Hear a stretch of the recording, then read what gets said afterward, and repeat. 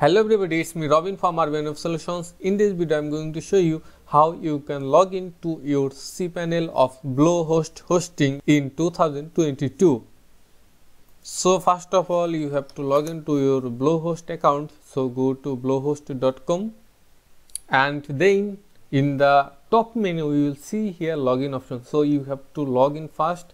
So click on login and when you are logged in, you will see this type of interface.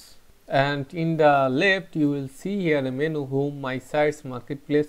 From this menu you have to click on advanced. So click on here and you can see it's redirected to cpanel so in this way you can log into your bluehost cpanel in this interface you will get all of those information and options like file manager. From here you can access your file managers of your WordPress installation and all folders and then from PHP admin you can check your uh, all database all database and MySQL database. Here you also able to create a database and you can connect and then you will see everything from WordPress manager by software uh, from here you can install WordPress easily and all of the required options you will get from cpanel so in this way you can easily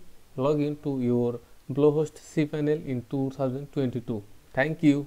And please make sure you have subscribed our channel. If you subscribe our channel our wordpress community will grow up more faster. We will get inspiration and we will make more useful tutorials in future. Thank you